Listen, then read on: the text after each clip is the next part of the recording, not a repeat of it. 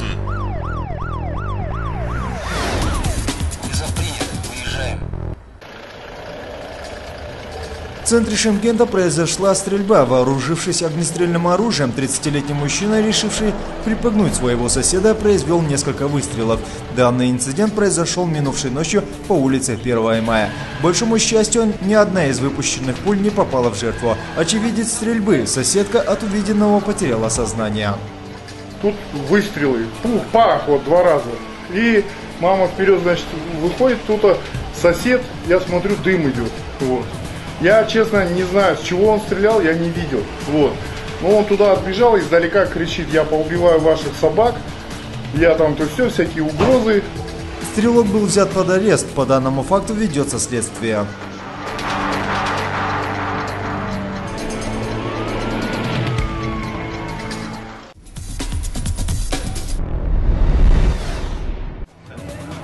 В Шымкенте проводится рейдовое мероприятие, направленное на пресечение разгула несовершеннолетних без присмотра родителей в ночное время суток. В ходе проведения мероприятия стражи порядка доставили с десяток подростков, прогуливающихся в ночное время без присмотра взрослых. Как оказалось, несовершеннолетние приехали из села для прогулки по ночному городу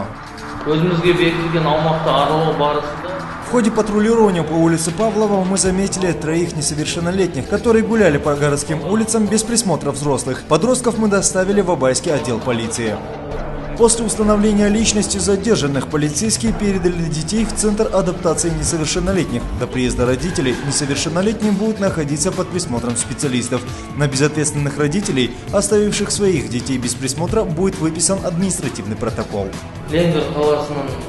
Детей мы сейчас отправим в Центр адаптации несовершеннолетних. Напомним, что несовершеннолетним запрещается разгуливать без присмотра родителей после 23.00. Однако зачастую не все подростки и родители придерживаются этих правил.